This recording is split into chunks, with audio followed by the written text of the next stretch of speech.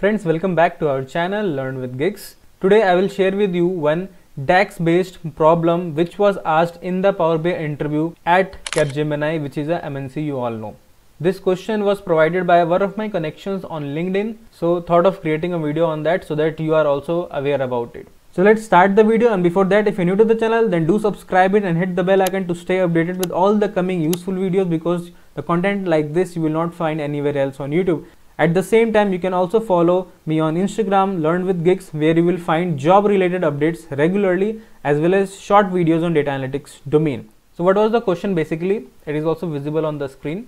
There is a VMart store okay in different locations of country India and the interviewer wants that you have to write the DAX code to calculate the total sales contributed by females from the states like Karnataka, Maharashtra and Gujarat. This is what is the question. Now let me show you the data that I am using it here. So this is the data. You can clearly see I have one customer column, a gender column, a city column, a state column and an amount column. In real time projects also this can be a scenario where you have to calculate some kind of KPI with the situation like this okay and if you can see it here apart from Ankur all other customers are females and if I talk about Maharashtra so we have two records of Maharashtra we have uh, two records of Karnataka here and here and one record of Gujarat. So if I sum up the total amount so Maharashtra is 500 200 that means 700 Karnataka 300 that means 1000 then Gujarat plus 500 means 1500 and Karnataka again plus 600 that is 2100 so 2100 is the so total sales contributed by females from these three states so this is what we have to calculate through a dax code okay? So we know the result that is 20 2100 we have to calculate it through a dax code. Now let's create a measure how we can do this. So let's give the measure name as total sales okay? Total sales equal to so i think many of you will be able to write the dax code for this particular scenario. For this i will first make use of calculate function okay?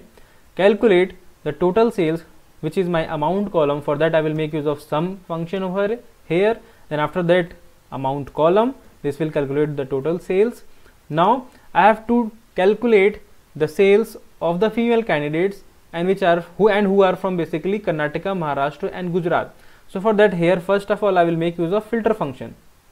Okay. Why I'm using filter function? So that I can optimize my DAX code okay i'm not writing the condition directly. I'm making use of filter function so that it returns the subset of the table and on top of it it does the sum of sales amount. Okay now filter function takes two arguments. One is the table so my table name is sales comma then here we can give the filter expression. To give the filter expression i will first make use of gender column right? Because we have to see who are the females.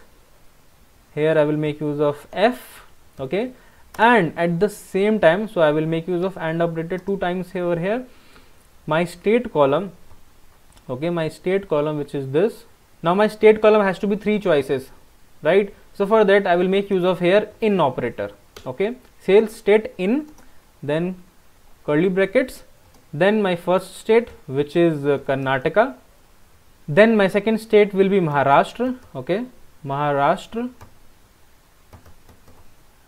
Maharashtra and my third state will be Gujarat right? So this is Gujarat. I will close the curly bracket. I will close the bracket for filter function and then I will close the bracket for calculate function. So pretty much straightforward. Here is the DAX code making use of calculate function sum of sales filter function filter the table where the gender is female and at the same times state should be from among Karnataka, Maharashtra and Gujarat. So this is our DAX code let's see what does the result comes out to be. If it comes to be 2100 that means our result is true and this is what the code should be written in front of the interviewer. Now let us see what is the result. And if you watched the video till now so do hit the like button of this video because it is completely free for you and your one like will give me the motivation to create more videos like this. Okay now let's see the measure. What what does it show as its value? So i will make use of card over here and you can clearly see it has the value 2100 so i hope it is clear to you now. So thanks for watching the complete video and stay tuned for the upcoming videos